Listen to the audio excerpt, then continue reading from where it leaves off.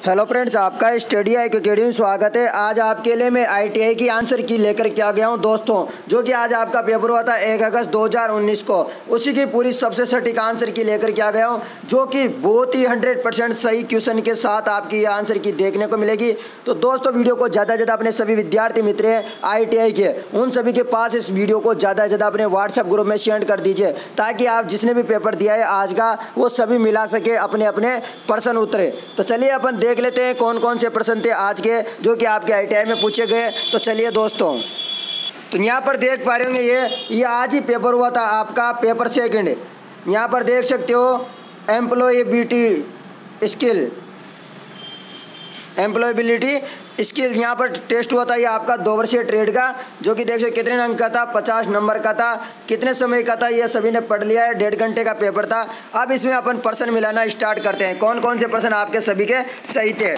तो यहाँ पर देखिए, सभी पर्सन करना क्या है? अनिवार्य सभी प्रश्नों के अंक समान है। यानी कि एक पर्सन कितने नंबर का है? दो नंबर का, एक पर्सन है आप सभी का। तो ये देख सकते हो, यहाँ पर पहला प्रश्न है, जो कि देख सकते हो, उपचारण में आए क्या समझ में है हैं? उच्चारण में आप क्या समझते हैं? तो पहला प्रश्न था, उच्चारण में आप क्या समझते हैं?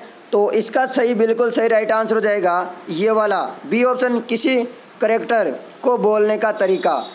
उपचारण से आप क्या समझते हैं? तो किसी करेक्टर को बोलने का तरीका। यानी कि कोई भी वर्ड को बोलते हैं तो उसका तरीका। अगला है सेकंड पर्सन सही विकल्प का चयन करके रिक्त स्थान की पूर्ति करें। This house in 1970 by my grandfather तो इसका आपको बताना था राइट आंसर। तो इसका भी राइट आंसर आपका बी ऑप्शन बिल्कुल सही हो जाएगा। Was built.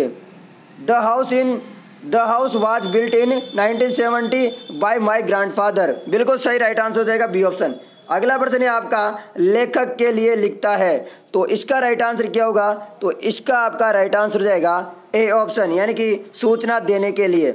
लेखक सूचना देने के लिए लिखता है। अगला प्रश्न है, चौथा आपका दस step when you go in? तो इसका राइट आंसर क्या होगा यहाँ पर? यहाँ पर भी आपको सही विकल्प चुनना है। तो आपका यहाँ पर चौथे नंबर का प्रश्न का राइट आंसर हो जाएगा, mind. Mind the step when you go in? तो इसका राइट आंसर होगा। चलिए पाँचवें प्रश्न की तो आपका पांचवा प्रश्न है सीपीयू में होना, होता है। तो सीपीयू में क्या होता है, जल्दी से बताइए। तो इसका राइट आंसर हो जाएगा आप सभी विद्यार्थियों के लिए। तो सीपीयू में क्या होता है? A L U plus C U यानी कि ये दोनों होते हैं यहाँ पर। तो ये आप देख सकते हो। A L U plus C P U किस ऑप्शन में? ए ऑप्शन में। तो ए ऑप्शन बिल्कुल सही हो जाएगा इसका। चलिए अगला प्रश्न है। तिथि और समय पर प्रदर्शित होता है। तो तिथि और समय पर प्रदर्शित क्या होता है?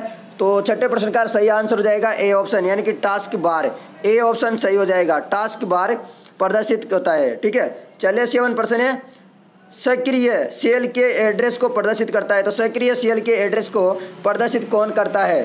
तो सातवें प्रश्न का यहाँ पर बी ऑप्शन होगा, यानी कि नेम बॉक्स सातवें प्रश्न का बी ऑप्शन बिल्कुल सही होगा नेम बॉक्स अगला प्रश्न है आपका आठवां नेटवर्क की यह सतह से संबंधित होती है। तो आपको बताना है नेटवर्क की यह सतह से संबंधित होती है। तो आठवें प्रश्न का सही हो जाएगा फैक्ट से। प्रैक्टिस बिल्कुल राइट आंसर हो जाएगा यहाँ पर। चलिए अगला प्रश्न है नवा। संदेश वह संदेश संकेतक है जो कार्य करता है। संदेश यह संकेतक है जो कार्य करता है। तो नब्बे प्रश्न का आपका राइट आंसर होगा, ग्राही के लिए प्रेरक की तरह। ग्राही के लिए प्रेरक की तरह बिल्कुल सही हो जाएगा। दसवां प्रश्न है श्रवण शक्ति एक प्रक्रिया है। तो श्रवण शक्ति एक प्रक्रिया है, दसवें का राइट आंसर हो जाएगा आपका बी, मनोवैज्ञानिक। क्या हो जाएगा? मनोवैज्ञानिक। पर इसमें क्या हो सकता है दोस्तों? इसमें थोड़ा कन्फ्यूज़न है। तो इसमें जो आपके आंसर की आएगी एन की तरफ़ से उसी का सही मानना है। वैसे तो यहाँ पर मनोविज्ञान भी सही है और शारीरिक भी थोड़ा थोड़ा सही है। यानी कि इसमें से कोई भी सम, सम, सम, मान सकते हो आप। ये पर्सन कन्फ्यूज़न क्या है। ठीक है? यदि आपने कोई भी लगाया तो आप इसका ज़्यादा टेंशन नहीं ले बिल्कुल भी। ठीक है? इसको जब भी आंसर किया आएगी मैं आपके लिए बता दूँगा। इसके बाद ग्यारह प्रश्न है स्व जागरूकता का बोध सीधे से होता है। तो यहाँ पर आपका राइट आंसर क्या होगा? ग्यारहवें का। बी ऑप्शन बिल्कुल सही होगा यहाँ पर। व्यक्तित्व। अगला प्रश्न की तरफ़ चलते बारहवें की तरफ़। तो आप सभी के लिए यहाँ पर बारह प्रश्न है। साक्षात्कार के लिए आपको कब जाना चाहिए? तो साक्षात्कार के लिए आपको कब जाना चाहिए? तो इसका तीस मिनट बिल्कुल सही हो जाएगा। तीस मिनट जल्दी। अगला है एनएसआईसी का मुख्यालय में स्थित है। तो एनएसआईसी का मुख्यालय कहाँ पर है? जल्दी बताइए। तो यहाँ पर हो जाएगा दिल्ली में। एनएसआईसी का मुख्यालय कहाँ पर है? दिल्ली के अंदर है। अगला है आरबीआई की समस्त संगठन। तो आरबीआई का संगठन संगठन क्या हो जाएगा? आईडीबीआई इसका बिल्कुल सही होगा वैसे तो पर यहाँ पर यह सभी भी कभी कभी सही मान लिया जाता है। तो यहाँ पर ए या डी ऑप्शन सही होगा। ठीक है? ए या डी चलिए अगला प्रश्न है एटीएम की फुल फॉर्म क्या है? सभी को पता है। ऑटोमेटिक टेलर मशीन क्या हो जाएगा? बी ऑप्शन सही हो जाएगा। अगला प्रश्न है सभी का सोलवा।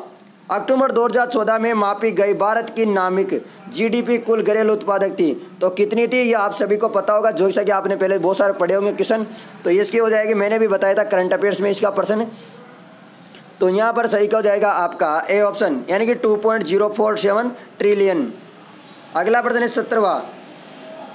ऑनलाइन बैंकिंग के प्रयोग से आप कर सकते हैं। तो ऑनलाइन बैंकिंग के प्रयोग से आप क्या कर सकते हैं? जल्दी से आप बताइए तो क्या कर सकते हैं? पैसे ट्रांसफ़र कर सकते हैं। क्या कर सकते हैं? पैसे ट्रांसफ़र यानी कि बी ऑप्शन सही हो जाएगा।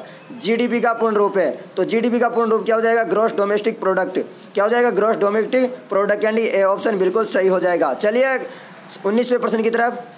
तो उन्नीसवा प्रश्न है आपका, वर्तमान समय में स्टील का सबसे अधिक उत्पादन करने वाला देश कौन सा है? तो स्टील का सबसे ज़्यादा उत्पादन करता है वो देश कौन सा है? तो डी हो जाएगा यानी कि चीन। चीन सबसे राइट आंसर हो जाएगा बी ऑप्शन बीसवा क्वेश्चन है भौगोलिक। भौतिक जोखिम में शामिल है। तो भौतिक जोखिम में क्या शामिल है? जल्दी बताइए। तो इसका सही हो जाएगा अनुपयुक्त तापमान। भौतिक जोखिम में क्या मिल है? अनुपयुक्त तापमान। चलिए अगला प्रश्न है, दुर्घटना है। दुर्घटना एक क्या है? जल्दी बताइए। इक्कीसवें का सही हो जाएगा। अनापेक्षित घटना, यानी कि कभी भी हो सकती है ये। अनापेक्षित घटनाएँ हैं ये। अगला है बाईसवा, इनमें से किसे जैविक माना जाता है? तो इनमें से किसे जैविक माना जाता है? जल्दी बताइए आप। तो इसका सही हो जाएगा जीवित को। हाथों की सुरक्षा के लिए का प्रयोग करना चाहिए। तो हाथों की सुरक्षा के लिए किसका प्रयोग किया जाना चाहिए? दस्ताने का। बिल्कुल हो जाएगा यहाँ पर। चौबीसवा इनमें से क्या? बायोडिग्रेडेबल जो प्रकृति रूप में से पृथ्वी में घुल मिल जाए ताकि पर्यावरण को हानि न हो। तो राइट आंसर क्या होगा यहाँ पर? तो यहाँ पर सभी का राइट आंसर हो जाएगा सी ऑप्शन यानी कि चमड़े की बेल्ट दोस्तों, यदि आपको व्हाट्सएप ग्रुप में जुड़ना है तो डिस्क्रिप्शन में लिंक नीचे मिलेगी। वहाँ आप व्हाट्सएप ग्रुप में जुड़ सकते हो। सभी विद्यार्थी वहाँ आई टी वाले हैं। पच्चीसवा क्वेश्चन है लास्ट प्रश्न है आपका। ईपीएफ और एमपी अधिनियम में स्थापित किया गया। तो क्या किया गया? तो कब किया गया? तो आपको बताना है। तो यहाँ हो जाएगा, उन्नीस सौ बावन में किया गया। तो दोस्तों, आज के जो भी इंपॉर्टेंट पर्सन थे, जो कि मैंने बता दिया आपके लिए, दोस्तों, आपको ये वीडियो कैसा लगा कमेंट करके मुझे ज़रूर बताइए। वीडियो अच्छा लगा हो तो आपके लिए डेली वीडियो लेकर के आ जाऊँगा मैं आंसर की के साथ। तो दोस्तों, इस हमारे चैनल को सब्सक्राइब कर सकते हो। अभी तक हमारे चैनल को सब्सक्राइब नहीं किया तो धन्यवाद दोस्तों।